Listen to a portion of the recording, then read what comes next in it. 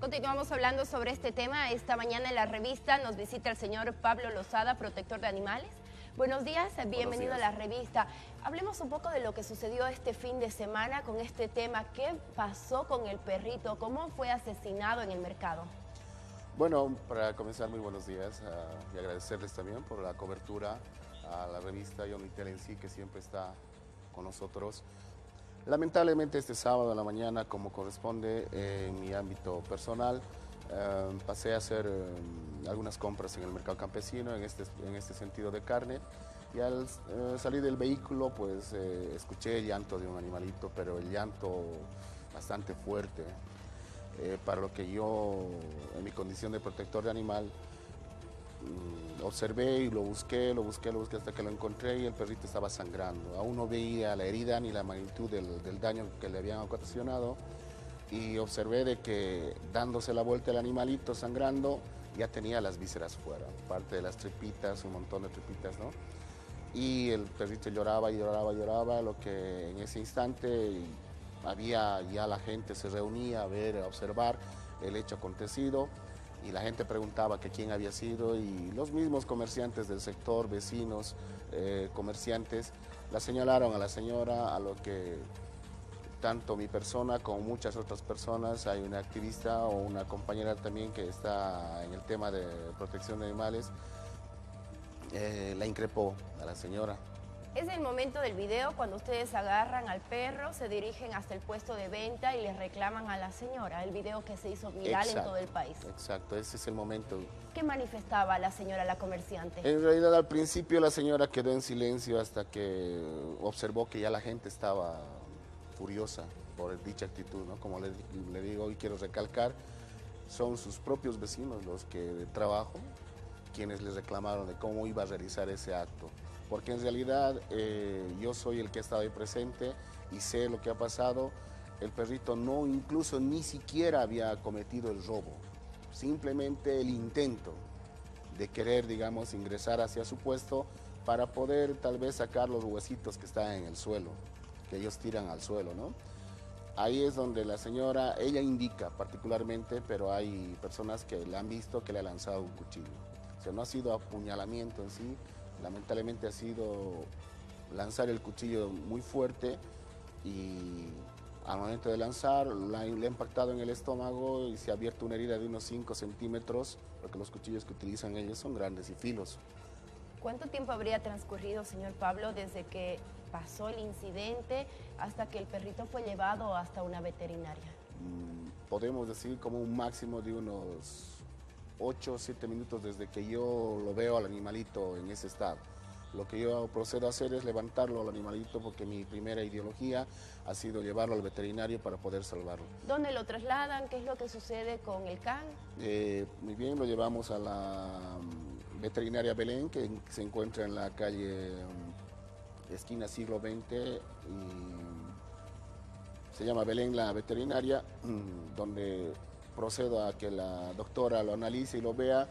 Y ya el perrito lamentablemente está con convulsiones, la doctora alega de que tiene hemorragia interna porque no solamente el corte ha sido fuera, sino también interno, que ha habido daños y cortes en, en, todo, en todas las vísceras de, dentro del animalito, corte en el estómago, por eso ya tenía un mal olor, porque todo, todo lo que había comido, lo poco que ha podido comer días anteriores ya estaba saliendo dentro del cuerpo y estaba comenzando a tener convulsiones y bajo la recomendación de la doctora, al ver el, tomando en cuenta que el perrito está en situación de calle y que muy poca gente se hace cargo de aquello, pese a que yo había indicado de que yo me iba a hacer cargo de todos los gastos del animalito, me indicó de que iba a ser un poco difícil, ya que estaba en un estado bastante elevado, digamos, de, sufrimiento y que iba a ser difícil porque había que hacer cortes, había que hacer eh, algo muy quirúrgico, ¿no? En este sentido, que ellos solo entienden.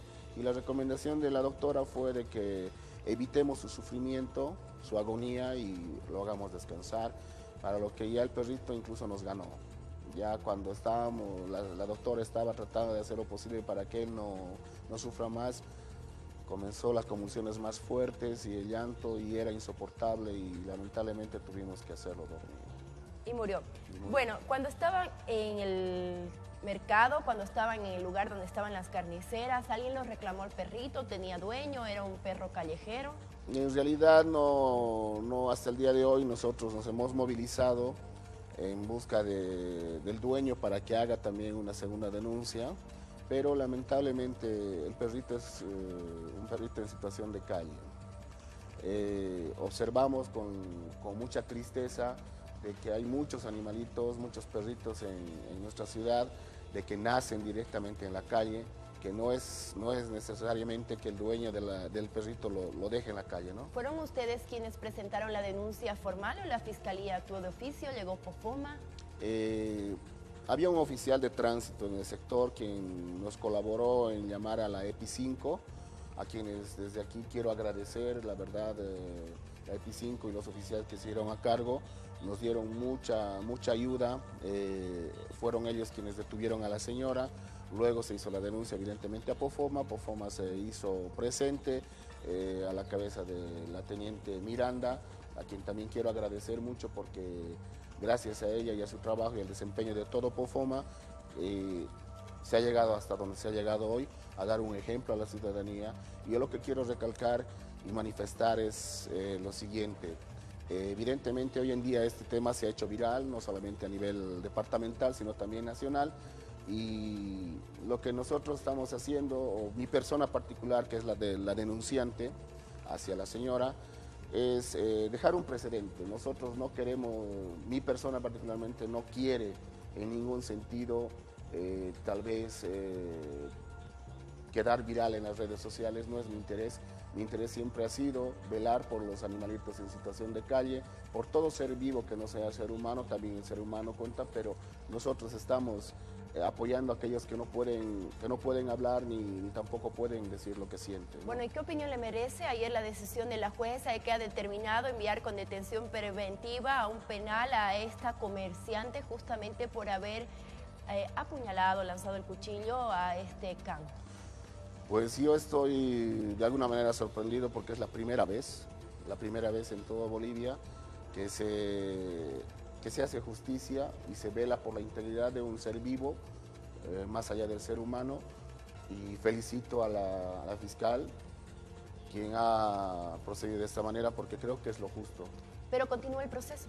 Sí, tiene que continuar. Nosotros, yo tengo un consorcio de abogados que está con nosotros, agradecidos también al consorcio de abogados, quien nos está brindando todo el apoyo y con quien nos estamos movilizando. Evidentemente no estamos haciendo esto nosotros de manera mm, eh, pública, ni tampoco lo estamos eh, pasando en las redes sociales, lo estamos haciendo como se tiene que proceder, con, con todo lo que la ley nos está exigiendo y pensamos llegar hasta el fin de estos casos, de este caso en particular, como le decía, para que esto quede en precedente, que quede eh, claro de aquí en adelante de que ya no es fácil, digamos, el que cualquier persona tome la determinación de que, como dicen en las redes sociales, por el momento de la rabia, pueda hacer lo que le dé la gana, ¿no? Bueno, gracias por habernos acompañado, señor eh, Pablo Lozada, y también la recomendación para los dueños de, los canes, eh, que no abran la puerta y no los dejen ir a, la calle sin ningún cuidado.